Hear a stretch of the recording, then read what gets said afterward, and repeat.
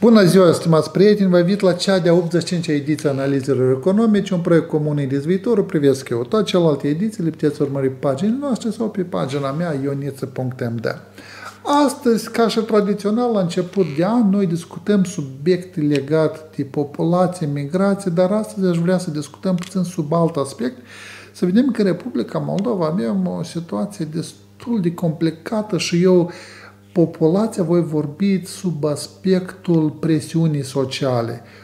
Ori este clar că noi avem o grupă de vârstă de oameni, tradițional se ia 16-59 de ani, dar poate fi, deci asta așa pur teoretic, oameni în vârstă aptă de muncă și avem persoane care sunt în afara vârstei de muncă, fie vorbim de copii, fie vorbim de persoanele în etate. Eu astăzi aș vrea să vorbesc aspectul acesta demografic din punct de vedere a presiunii sociale. Deci noi avem oameni care toată viața lor și-au dedicat muncii, au muncit 30, 40, unii chiar 50 de ani, oameni care au lucrat, au făcut contribuții sociale și au sperat la o bătrâneță decentă, au sperat că atunci când vor pleca la pensii, vor avea un trai decent, lucru care nu se chiar întâmplă și vom arăta astăzi mai multe cifre. Există multe explicații, dar una dintre ele este presiunea demografică. Ce înseamnă lucrul acesta? Avem bătrâni mulți, e bine că avem bătrâni, partea proastă că nu avem tineri iar tinerii care avem nu se află în țară, dar se află peste hotare. Din acest motiv, astăzi vreau să discutăm subiectul presiunea socială și respectiv efectul asupra calității vieților oamenilor în etate și încep cu un grafic foarte simplu care este nu altceva decât coeficientul de îmbătrânire a populației. Coeficientul de îmbătrânire a populației se calculează foarte simplu. Care este ponderea populației mai mari de 60 de ani în totalul populației. Datele pe care le avem noi se încep cu anul 1970. În anul 1970, mai puțin de 10% din populația Republicii Moldova era în vârstă înaintată. Altfel spus, oameni care erau la pensie, de fapt, reprezentau mai puțin de 10% din toată populația. De atunci această cifră a crescut, vă rog să vă uitați până în anul 2010, din ce cauză că din 2015 avem o creștere bruscă, de fapt nu s-a întâmplat nimic, dar s-au schimbat datele. Până în anul 2000 14 datele pe care le aveam noi era populația Republicii Moldova întreagă, dar nu se ținea cont de cei care sunt plecați peste hotare. Începând cu anul 2014, Biroul de Statistică a început să ne dea două tipuri de date. Populația totală a Republicii Moldova, cei din țară și cei peste hotare și populația care se află cel puțin 12 luni în interiorul țării. Și aici situația de fapt a devenit cu mult mai clară. Dacă noi până în 2010 avem o iluzie că gradul de îmbătrânire a populației nu este chiar atât de mare, da, noi ca moldoveni, numărul celor în vârstă crește constant din mai mulți factori și acum am să dau care sunt factorii, dar în realitate, dacă ne uităm la modul serios, cei care sunt în interiorul țării și vin cu contribuții la bugetul de asigurări sociale, la numărul celor bătrâni, ei sunt cu mult mai puțin, deoarece migrația populației peste hotare este strict determinată de vârstă. Simplu spus, acum am să dau simplu spus, cei mai tineri sunt mai mulți peste hotare decât în interiorul țării. De aceea, după ce în 2014 au apărut datele eh, legate de cei din interiorul interiorul țării, noi avem o situație destul de dramatică. 18% din populația aflată pe teritoriul Republicii Moldova era mai mare de 60 de ani. Iar în prezent suntem 23% aproape, ne apropiem de 25%. Ce înseamnă lucrul acesta? Presiunea demografică sau coeficientul de îmbătrânire a populației în Republica Moldova crește foarte rapid și se întâmplă din câteva motive câteva elemente. Primul, este unul pozitiv, dar tot oricum duce la creștere, dar este legat de faptul că crește speranța la viața oamenilor. Altfel spus, oamenii trăiesc din ce în ce mai mult, lucru care este salutabil și este bine. Al doilea factor este negativ, natalitatea. Ori în prezent noi avem cea mai scuzută natalitate în istoria noastră. Dacă înainte noi aveam e, e, nivel de naștere a 39 de persoane la 1000 de oameni, acum am ajuns, 39 de procente, acum am ajuns la un nivel cu mult mai scăzut. Deci la noi în prezent natalitatea este undeva de 4 ori mai mică decât a fost acum 30-40 de ani în urmă. Evident, lucrul acesta a dus la ceea că la noi sporul natural este negativ. Populația Moldovei a scăzut cu circa 100 de mii de persoane în perioada de independență. Dar al treilea factor, care este cel mai dramatic pentru noi, este migrația. Noi avem vreo 900 de mii de persoane plecate peste hotarele țării și respectiv în interiorul țării practic nu rămâne nimeni care să lucreze. Drept consecință, presiunea pe sistemul de pensie unul este enorm. Noi avem două tipuri de pensionare. Avem pentru limita de vârstă să avem oameni cu anumite dizabilități, anumite oameni cu probleme. Eu pe aceștia noi am luat în considerație, am luat doar pe cei cu limita de vârstă. Uitați-vă în anul 90, datele care le avem ultimele sunt din 1990, la acel moment noi eram 1.510.000 oameni care lucrau, aici trebuie să spunem că avem peste un milion de lucrători, muncitori și avem vreo 400 de mii de colhoznici care tot oricum erau încadrați în câmpul muncii. Avem un milion 500 de mii de lucrători la 580 de mii de pensionari. 2 întreg 6 lucrători la un pensionar, practic rata de 3 la 1. După aceasta avem o scădere dramatică în numărul de lucrători, pentru că în anul 2000 să ajungem la o stabilizare, dacă putem noi o stabilizare, 700.000 de lucrători la 518.000 de pensionari. După aceasta, observăm iarăși o scădere încă cu 100 de mii. Avem 600 de 2010 este anul de cotitură, 600 de mii de lucrători la 460 de mii de pensionari. Aici am ajuns la limita de jos. După aceasta ce se întâmplă? Timp de 12 ani de zile, la noi numărul angajaților practic a rămas stabil, uitați-vă, 600 de mii, acum avem 627 de mii estimativ în 2022, poate fi puțin mai mult, puțin mai mult. Practic, timp de 12 ani de zile, la noi numărul de angajați în economie nu s-a modificat. Noi avem câteva sectoare unde s-au creat locuri de muncă, însă în alte sectoare s-au redus locuri de muncă, inclusiv în sectorul bugetar. În rezultat avem în prezent practic același număr de lucrători care l-am avut 12 ani în urmă. Cât privește numărul de pensionari, el a crescut continuu de la 460 de mii până la 525 de mii. În rezultat, noi astăzi avem, la, vorbim doar de pensionarii după limita de vârstă. Deci noi astăzi avem un întreg și doi lucrători la un pensionar. Practic, un lucrător menține un pensionar. Dar nici aceasta nu e cel mai grav. Cel mai grav este că la noi, în afară de pensionare pe care avem noi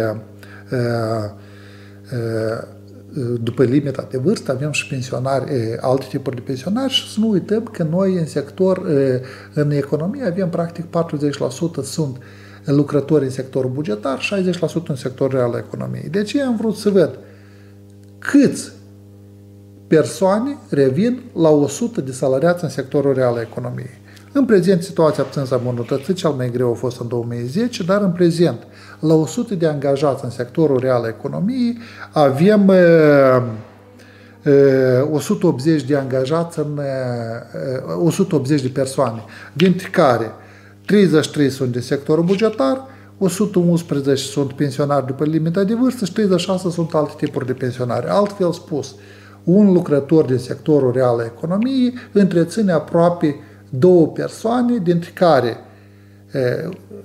o parte sunt bugetari, o parte sunt pensionari după limita de vârstă și o parte sunt alte tipuri de pensionari. Practic, presiunea asupra unui lucrător din sectorul real al economiei este unul care este imposibil ca să poți asigura un trai decent tuturor celorlalți. De ce se întâmplă lucrul acesta? După cum am spus, sunt câțiva factori de bază. Doi voi numera aici, este cel demografic, cel de migrație. Pentru aceasta am luat două grupe de cetățeni. Am luat pe de o parte tineri la 18 până la 35 de ani. Cine sunt aceștia? Aceștia sunt oamenii care intră în câmpul de muncă. Deci sunt oameni care în această perioadă ei sunt cei care trebuie să muncească în Republica Moldova. Și doi am luat persoane peste 60 de ani, deci cei care au ieșit din câmpul muncii și ei merg la o odihnă bine meritată. Deci am vrut să văd cei care intră în câmpul muncii, comparativ cu cei care au ieșit din câmpul muncii. Care este numărul lor? Uitați-vă 2010. Avem 872.000 de tineri care sunt în vârsta care intră în câmpul muncii și 460.000 de persoane peste 60 de ani. După 12 ani, doar după 12 ani, în acest an, la începutul anului, numărul persoanelor peste 60 de ani a ajuns la 593 de mii, iar numărul persoanelor care sunt în, practicând în câmpul muncii este 600 de mii. De fapt, la anul, în acest an, 2023, ce scuzător, uit că anul 2023, noi să avem așa numită cruce. Am crezut că se va întâmpla în 2022, se întâmplă în 2023. Când numărul persoanelor care intră în câmpul muncii este mai mic decât numărul celor care au ieșit din câmpul muncii. Aceasta înseamnă că noi, practic, suntem în imposibilitate ca să menținem sistemul nostru de pensionare cu resursele lui proprii. Și acum vom vedea lucrul acesta. De ce aceasta se întâmplă? Din simplu motiv, pe de o parte, s-au născut mai puțin copii, pe de altă parte, tinerii pleacă peste hotare.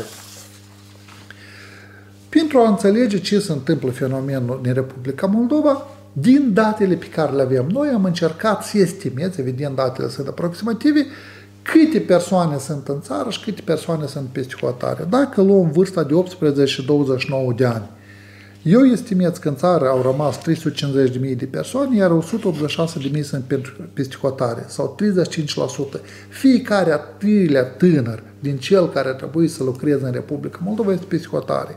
Vârsta de 30-44 de ani ăștia sunt exact oameni care cel mai mult trebuie să contribuie la e, protecția persoanelor care au ieșit la pensie. 593 de mii în țară, 350 de mii de psihotare, aproximativ 40%. Sau 4 din 10 care trebuie să contribuie la sistemul de protecție socială care trebuie să ajute cetățenii Republica Moldova nu sunt în țară. După aceasta scade, observați, 45-59 de ani în țară avem 510.000 psihotari 175 și exact ceea ce vorbim noi, oameni peste 60 de ani sau cei care deja sunt la odihnă meritată, în țară avem 593 și 99 de mii psihotare sau practic majoritatea din ei sunt în țară. Nu m-aș mira că oamenii la după anumite vârstă se vor întoarce acasă și atunci noi vom avea următoarea situație. Cei de la 18 până la 45 de ani, în cea mai mare parte vor fi psihotare, iar cei peste 60 de ani aproape toți vor fi în țară. Sistemul salănteței practic este imposibil. Am luat tineri 23-35 de ani. De ce am luat 23-35 de ani? Omul a făcut facultatea, a terminat studiile și ce se întâmplă cu el? Dacă observați până în 2015, numărul acestor tineri în Republica Moldova a crescut constant legat de procesele demografice din trecut. După aceasta avem o scădere continuă, numai că această scădere este iarăși cauzată de doi factori. Primul, scad ei ca număr, iar doi scad ca prezență în țară. În prezent, în, în prezent noi avem undeva în țară, datele sunt aproximative, sub 500 de mii în țară și vreo 330 de mii peste hotare. Estimez că în anul 2030, dacă nu se va întâmpla nimic, atunci tinerii aceștia care au, au făcut facultatea, peste hotare vor fi mai mulți decât în țară. Deci avem o situație când numărul lor scade dramatic, pe, pe de o parte numărul lor scade, iar pe de altă parte cei care rămân în țară este foarte micuț. Pentru ce spun lucrurile acestea? Că acest proces nu mai aibă loc. Deci noi în prezent deja avem aproape 40% din tinerii noștri sunt peste hotare, iar dacă nu vom întreprinde nimic, riscăm să avem peste 50% și sistemul nostru practic nu are cum supraviețui. Aici, pe scurt, am mai publicat o dată, noi avem doar în 8 ani de zile, conform datelor care de birou de statistică, noi avem raioane unde numărul populației s-a redus cu 20%, ceea ce este dramatic doar în câțiva ani de zile. În ultimii 25 de ani de când s-a început marea migrație, noi avem raioane, cum ar fi Nesporeni, unde populația s-a înjumătățit înjumătățit. Exact suntem de două ori mai puțin decât am fost. Și aceasta este legată nu atât de natalitate, cât de migrație masivă peste hotare. Respectiv, neavând oameni, tu nu poți să asiguri unui cetățean din Republica Moldova un trai decent atunci când el iese la pensie. Deci, având un grad de îmbătrânire a populației care crește rapid, având un număr de oameni care pot contribui la sistemul de protecție socială relativ redus, noi am ajuns la o situație că pensia în Republica Moldova, din păcate, este mult mai joasă decât trebuie să fie. Că trebuie să fie o pensie normală și ca omul să-și poată duce o trai decent. Deci, Organizația Mondială a Muncii consideră și majoritatea țărilor au semnat acest protocol, Republica Moldova încă nu l-a semnat, România l-a semnat în 2009, Federația Rusă, spre exemplu, în 2019, unde se spune în felul următor. Omului în momentul când iese la pensie, trebuie să fie asigurat un trai decent, un trai, un trai cu demnitate, iar omul își poate duce cu demnitate bătrânețe atunci când veniturile lui reprezintă cel puțin 40% din veniturile pe care el le-a arătat. Ținând cont de faptul că omul primește salarii și alte plăți, asta înseamnă că venitul cetățeanului Republicii Moldova trebuie să fie cel puțin 40% din salariul mediu. Noi avem salariul mediu pe economie și respectiv care este venitul. În Republica Moldova, din nefericire, acest lucru nu se întâmplă. Eu am luat salariul net pe economie și am luat care este pensia noastră. Dacă observați în perioada sovietică, pensia era undeva la nivel de 30% din salariul net de la acea vreme. Cel mai bine sau veacul de aur a pensionarilor a fost perioada 80-90. Din acest motiv și oamenii au nostalgie, cei care încă mai țin minte, deja practic toți au plecat, dar atunci s-a ajuns practic la nivelul pe care Organizația Mondială al Muncii îl consideră corect pensia trebuie să fie undeva 40-45% din salariu. Observați, asta a fost până în 2000, până în 90. În 95, pensia a ajuns să fie 56, am avut perioade de 60% din salariu, din ce cauză? Nu, pensia era foarte micuță, pur și simplu atunci salariile practic nu existau, erau niște salarii mizerabile și pensionarii cumva erau protejați mai bine decât ceilalți. Dar asta a durat până în perioada 90-95, când salariile reale au căzut brusc și statul cumva a reușit să ajute pensionarii, dar în 2000, atunci când la noi am avut și o schimbare politică în țară, știți foarte bine, partidele care erau la guvernare au pierdut pur și simplu fără nicio șansă, a venit un partid de stânga, pensia a ajuns 25%. Practic, pensia era de două ori mai mică decât ar fi trebuit să fie pentru ca omul să-și ducă un trai decent. În următorii ani, pensia a crescut brusc, s-au operat majorări de pensie, a ajuns 36%, a fost maxima practic atinsă din ultimii 25 de ani, Apoi avem o scădere constantă până în 2020. Această scădere constantă este legată nu de faptul că pensia nu a crescut, dar sistemul de indexare așa fel și deoarece presiunea este enormă, sistemul de pensie a scăzut, iar în acest an, în 2022 estimăm că pensia a crescut comparativ cu 2020 și în valoare reală a ajuns la 33%, dar efortul este unul inuman, acum și am să povestesc. Deci guvernul, ca să poată asigura această creștere comparabilă a pensiei, ținând cont că noi nu avem lucrători, ținând cont că noi nu avem forță de muncă, guvernul a fost nevoit să uh, depună niște eforturi și acum și voi vorbi. Uitați-vă cum este pensia medie, deci asta am luat pe dinamică de 5 ani, dar aici am luat din 2010 până în prezent. Deci în 2011 noi am ajuns la 34% pensie, apoi avem o scădere continuă până în 2019, 2020, 21 și 22, în mod special 22, este marcată de o creștere puternică a pensiei comparativ cu salariul. De ce s-a întâmplat acest lucru în 2022? Răspunsul este foarte simplu. Guvernul, din cauza crizei energetice, din cauza presiunilor enorme, din cauza inflației fără precedent, a fost nevoit să întreprindă majorări, inclusiv în 2021 pensia s-a majorat datorită faptului că am introdus așa numitul salariu minim. Despre aceasta am vorbit anul trecut, eu vom pune link la ediția de analize economice unde am vorbit cum salariul minim a rezolvat un handicap al sistemului de pensionare. Acest lucru a ajutat, iar în 2022 salariul a crescut foarte puțin. De fapt, noi nu avem o creștere a pensiei și pentru pensionare încer scuze dacă vă spun că voi aduceți mai bine, că nu aduceți mai bine, aduceți foarte rău, însă comparativ cu restul din sectorul economiei, voi aduceți mai bine. Pensia în acest an, în 2022, a crescut mai repede decât au crescut salariile. Și în felul acesta pensionarul, chiar dacă duce o viață foarte, foarte proastă, însă comparativ cu ceilalți, la dânsul pensia a crescut mai mult decât a crescut salariul. Haideți să vedem cât a crescut pensia medie. Am luat din 2010, în 2010 pensia medie era 837 de lei, în 2020 pensia era 2068 de lei și observați 2021-2022 avem niște creșteri foarte puternice a pensiei cu 528 și în 2022 cu 570 de lei.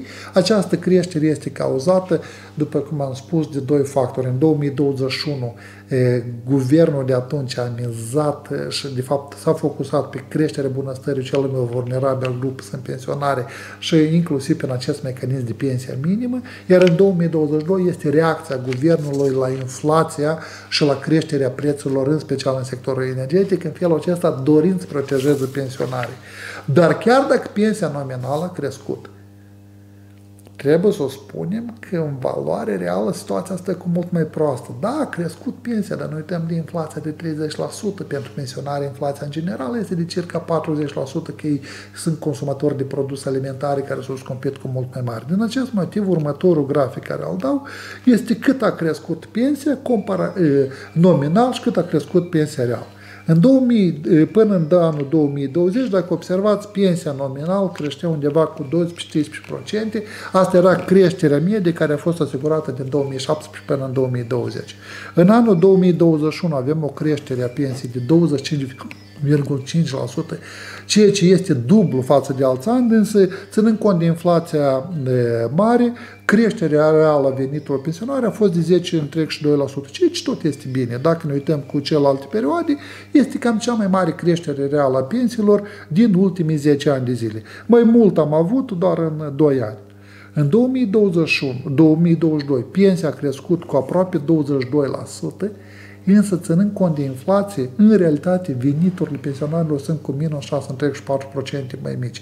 Altfel spus, chiar dacă pensionarii s-au bucurat de o creștere a pensiei de 22%, comparativ cu sectorul real al economiei, unde, pensia, unde salariile au crescut undeva cu 15-16%, dacă observați, pensiile au crescut cu mult mai mult. Însă, în realitate, pensionarii în 2022 o duc mai prost decât în 2021, puterea reală de comparare a scăzut. Dar după cum am spus, apare o întrebare simplă.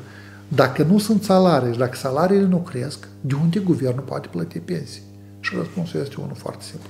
Din nefericire, sistemul nostru de pensionare practic nu se poate întreține și el este menținut în baza transferurilor din bugetul de stat. Uitați-vă în anul 2003-2008, sistemul de protecție, sistemul de protecție socială primea din bugetul de stat doar 15% din bani. În ultimii 5 ani de zile până în 2020, în mediu, statul trebuia o treime din bani sau 35% din bani trebuiau să fie plătiți în sistemul de protecție socială. În anul 2021, 2022 și în 2023, 44% din bugetul asigurării sociale de stat este format din transfer din bugetul de stat. În 2023, guvernul planifică să dea pentru plata pensiilor și tuturor celorlalte plăți sociale 17,2 miliarde de lei, dintre care 3,6 miliarde de lei suplimentar comparativ cu perioada de acum 5 ani de zile. Dacă în ultimii 5 ani de zile guvernul dădea 35% din tot bugetul asigurării sociale, acum a ajuns la 44% practic, noi suntem nevoiți de la investiții, de la întreținerea sistemului de educație, de la toate cheltuielile publice necesare, noi suntem nevoiți să luăm banii pentru a-l da la sistemul de menținere a pensiei. Concluzia este următoarea. În condiția când la noi rata de bătrânire a populației crește constant și apropie de 25%, și aceasta este legată de migrația populației și în special a populației tinere, noi, nu mai putem întreține sistemul de protecție socială și întreținerea lui se face din coltul altor cheltuieli. Dacă noi nu reușim să identificăm niște măsuri clare de menținerea populației, nu mai spun de întoarcerea înapoi populației, noi pur și simplu presiunea socială pe care o are Republica Moldova, noi suntem în incapacitate, în imposibilitate de a o uh, menține și de fapt o menținem cu costul dezvoltării noastre. Deci, neavând forță de muncă, având necesitatea de a întreține bătrânii noștri, care și așa sunt într-o stare foarte, foarte precară, reamintesc că trebuie să aibă undeva 40-45% pensia din salariul mediu, dar la noi este ceva mai sus de 30%, deci noi trebuie să majorăm pensia cel puțin cu 50%, noi nu putem face lucrul acesta și noi suntem nevoiți să luăm bani de la dezvoltarea țării, de la infrastructură, de la drumuri, de la alte utilități, și să menține sistemul de pensionare din simplu motiv că nu avem populație în țară. Migrația populației creează o sumedenie de probleme, iar una din problemele este incapacitatea de dezvoltare a țării, deoarece suntem nevoiți toți banii care îi avem să-i dăm pentru plata uh, plăților, pensiilor și altor plăți sociale, lucru care trebuie să-l facem aici absolut deloc nu critic guvernul.